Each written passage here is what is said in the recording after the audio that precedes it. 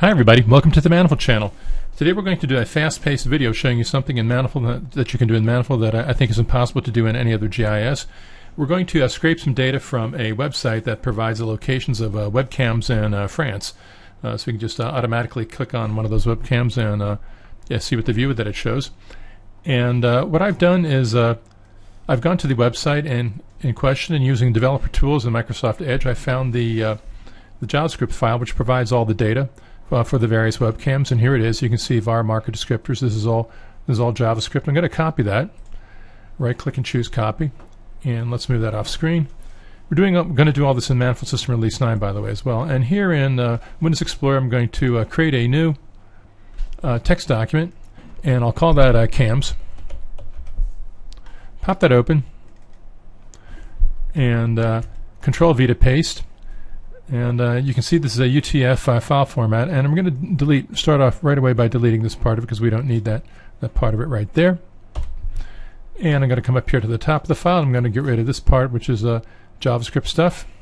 Don't need that either. Uh, and uh, now I'm going to save that file. Save as. Well, we'll save it as cams. Yeah, let's replace it. Okay, uh, let's get that out of the way because uh, what I'm not going to do is I'm going to open this in. Um, uh, I'm going to open it in Notepad Plus because Notepad Plus is uh, more useful when you're doing things like replacing uh, carriage returns and line fields, uh, line feeds. And the first thing I want to do is I want to take this one huge uh, line and I want to split it up into uh, a bunch of smaller lines. And the way I'm going to do that is I'm going to start right here, this this bit right there. I'm going to take that, copy, and here in search replace we're going to take that and we're going to replace it with a uh, uh, return.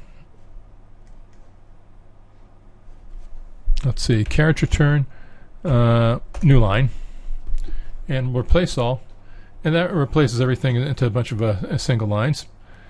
And uh, let's see what else we want to do here. Let's let's go back to the beginning, and I'm going to get rid of this bit right there because that was that's all kind of a kind of right at the start. So now I want to replace some of the things here that you know the various uh, uh, text bits. So this part right here, I want to uh, Control C to to, to uh, copy. Let's do search and replace, and we're going to replace uh, that with. Uh, let's see what I want to replace that with. I just want to replace that with a a single comma and a space character. Replace all, and this bit right there copy back here. Replace that with a single comma and a space character replace all. And as you can see I'm, I'm setting this up so that uh, I can uh, later format all this as a uh, as a CSV file. And there's one more trick I want to do right here because I want to take this part which is the uh, JSON string right here. And I want to replace, replace the comma here in the JSON string because commas are something that CSV understands.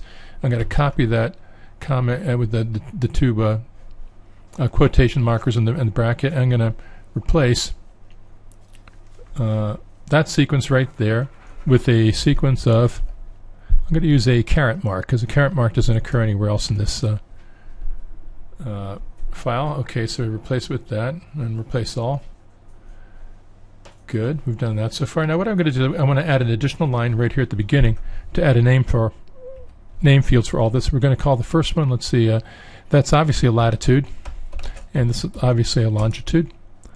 And we'll call that num1 num2 call that we I don't know what that is. Call that location. The next right then I'll call the last thing uh, JSON because it's the JSON string.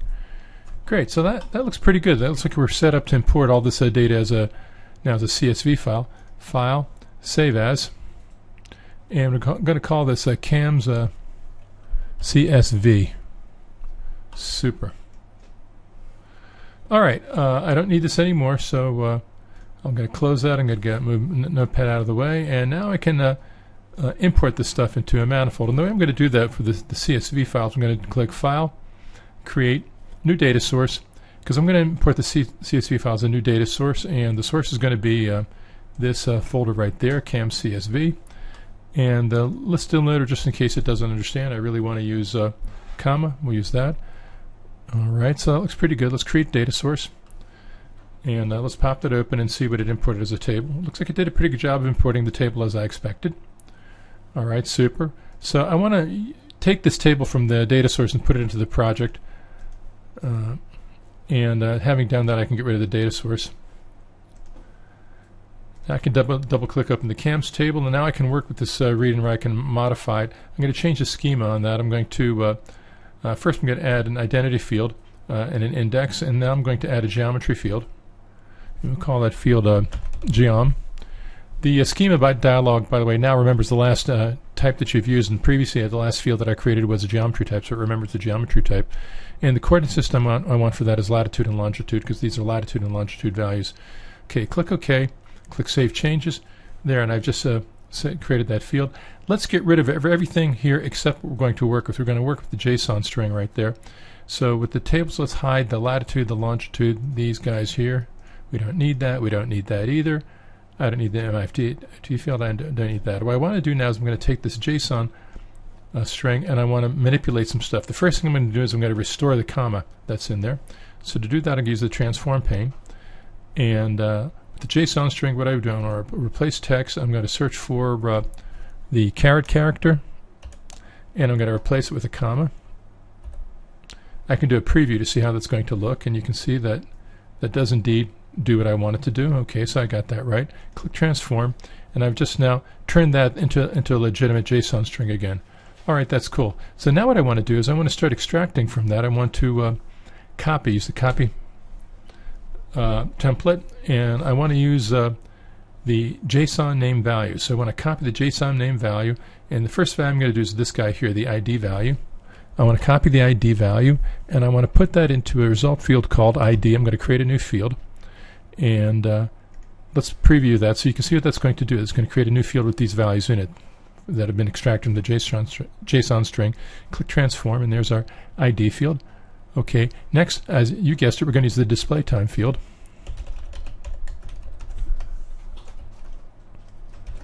And uh, I'll do a preview again so you can see that's going to be 1. They're all pretty much a value 1. I have no idea what display time is, but yeah, we're just going to extract it from the table so we get all the fields they had in the table.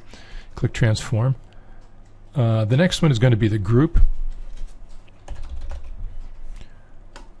And that's going to go into a field called group. Click transform. Click transform. There we go. And uh, next is going to be a thumbnail. So let's find thumbnail. Center thumbnail. Click transform. As you can see, it's uh, creating all these fields for me as, as I go along. And let's see what comes after that. I can uh, click edit to see what's in here. So after thumbnail, there's last update. I'm just going to copy that so I don't have to keyboard it in. Control C to copy and after that that'll be there'll be uh, the uh, URL okay. So let's do the uh, the last update. It's going to come to a field called last update. Click preview so you can see where that's going to go. Okay let's click transform. And then the last one uh, was URL that's the last uh, JSON entity that we're going to extract and we're going to put that into a field called URL and just click transform. And uh, now here in the layers pane uh, we don't need that long JSON string because we've now uh, extracted all those things this way. I'm not going to use ID or display time uh, or last update. Uh, so uh, let's just uh, hide those fields, display time and last update. And here's the URL. This is the one that we're really interested in. And let's turn a few things back on, I guess. Turn on latitude and longitude, and let's turn on geom. Okay, uh, and uh, what what have we done so far? Let's uh, file, save as, and we'll call this uh, French webcams. Now uh, I'm going to right click on the URL field here and let's style that. Let's style that as a URL. And let's style the thumbnail as a URL also. And uh, what have we done so far? We've created a table that has all these different webcams on it. Now what I can do if, if I like is I can uh, right click on any of these uh, and click open URL and what it'll do it'll pop it open in uh, my default browser and here's Microsoft Edge. So and if I want to change that to you know something else like for example uh, oh, let's right click on this one and click uh, no let's click down here right click and choose open URL these are all webcams on highways in France. Some of them are more than webcams. Now, it'd be interesting to have these as a uh, map as opposed to have them as a list in a table, right? So uh, let's do that. Uh, and uh, that's easy enough to do. The first thing to do is I'm going to create a geometry here. I'm going to use the transform pane here. And so go back up here and we'll choose the geom field. Oops. Right, and what we're going to do is we're going to compose the geom field. Now it's very important to get your x's and your y's right. So the x is longitude. Uh, so let's click on longitude field and the y is latitude. Okay, and the result is going to go into the uh, geom field. Super. So let's click transform. We've just created geom. And now what I can do here in the uh, project pane is uh, let's call this, let's rename this. Let's call this uh, rename related. Let's call this the the cams table rename. I like to name things this way. And then now what I'm going to do is I'm going to create a, a, uh, new drawing. The new drawing is going to be the cams table. It's called it's, it's called the new drawing cams. That's why I renamed the table. And now let's create drawing. And now what I can do is I can create a map based on the uh, cams table. I'm going to right click on that and choose create new map. And I'll use Bing Street Map as a background layer and create map. Now when I pop open the map, uh, you can see we have all those dots, and this shows all the different dots that are there. And let's let's style these so they come up uh, a little bit brighter colored.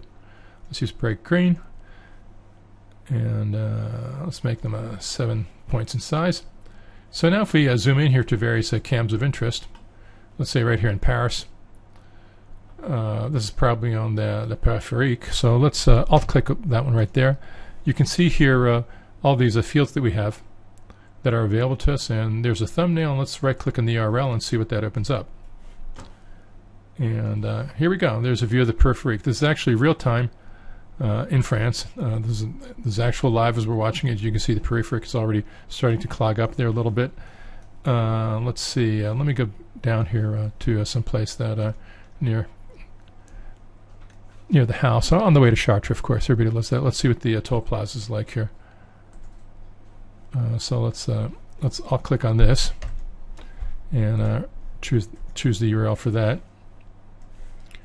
And uh, there's the toll plaza. So you can see now's a good time to be heading out of Paris because you can you can actually get there. It's uh it's about two o'clock in the afternoon. And uh, you can do this, uh, you know, all over France as much as you like. Let's uh, control click on that tab. Hmm, what's a more interesting place to see? Montpellier. Uh, let's see what, ah, Monaco.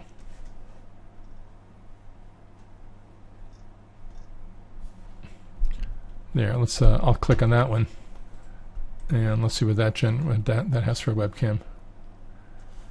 Okay, so that's the uh, sunny south of France. It's the highway near Monaco. Uh, so what did we learn uh, how to do in this video here?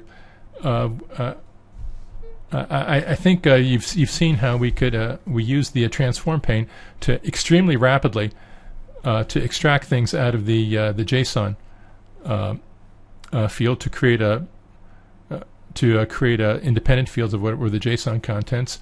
And let's do a few one more thing that we can do because some of these things this came off of a website, so they use characters here like the eacute symbol, the web symbol here, which is right there and we'd like to change those. though you know that that can get a little bit tedious. So, so how do you change this? So uh, that's easy enough to do. What we can do is here in the transform pane. Uh, let's go here and choose the uh, what is it location field. Okay, in the location field, what I want to do is I want to replace the text, and the text I want to search for, I want to search for uh, that text right there. And here from uh, another website that I've gone to is a character entity reference chart. There's the eacute character reference. So I can do is I can copy that character. I just highlighted that character and copied it. And then I'll just uh, right click here and I'll paste. So I'll replace all instances of eacute with that. Click transform. And you can see that's now the correct uh, péage. Uh, of course, is a toll plaza or toll road. And also the entrée there, you know, replaces all. So, you know, you can go through this in all these places where, for example, the E grave, that's an E with an uh, accent grave, uh, there, you know, replace all those it's a little bit tedious, but you know what can I say? That's uh, what you get when you you know scrape data off websites. So anyway, what we've seen how to do here is how convenient and easy it is to use Manifold to uh, manipulate tables. And it's just absolutely spectacular at manipulating data, and attribute data in tables. And it's not just the uh, analytic stuff uh, either. It's uh, you know, it's, it's, simple things like text manipulations. And because Manifold is parallel, it all works. This you know can do this whether you have a billion records and not just a you know a relative handful like we have here. That's the one thing that we've seen in school. The second thing that we've seen in school is the ability to uh, have a URL type field to right click on that and choose Open URL. Because uh, when you when you do that sort of thing, um, let's see, with the, uh, Air Discovery, it's off to Dijon. Okay, that's the uh, a uh, what do you call it? A uh, service area, rest area. And there we go.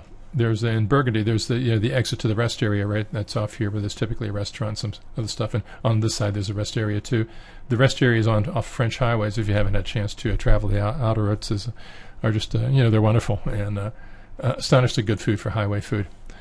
Uh, so what we've seen also is we've seen how you can do URLs uh, here, and you can use this URLs to do all sorts of wonderful stuff. For example, you can have email accounts here. So if you have a, a, list of contacts and you want to email somebody, just right click on that and you know, launch that email.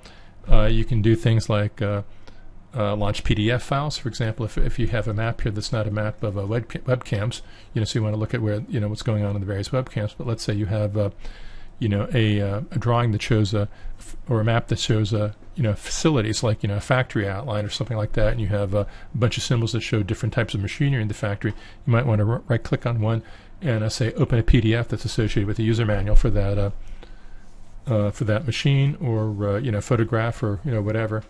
Uh, or even uh, used to launch processes. For example there's a one of the examples in the user manual you know that shows you how to use the styling for table fields shows you how to launch a remote desktop so if you have a you know if you work if you routinely connect to dozens of different computers you know with using RDP you can just right click on you know the one that you're interested in doing and launch an RDP session to that so that's just really super and it's really fast and when you combine it with Manifold's ability to work with tables and handle data and table attributes like this, uh, it's just a wonderfully uh, smooth and uh, supple and convenient system.